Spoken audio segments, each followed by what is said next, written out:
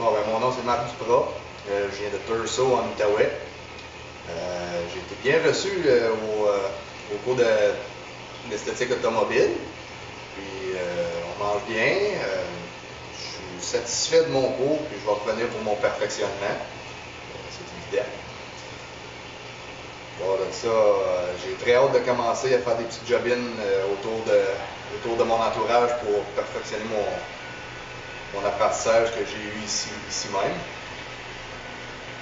S'il y a une grosse possibilité que je puisse partir de mon entreprise, ben, ça va être euh, avec la collaboration de François. Dis-moi, euh, Marc, je veux savoir, est-ce qu'on a atteint tes attentes personnelles en fin de semaine? Euh, la plupart de mes attentes personnelles ont été remplies. C'est sûr que probablement pour le reste, c'est de la pratique qui, qui laisse à découvrir. Euh, jusqu'à date, je suis très satisfait. Merci, Marc.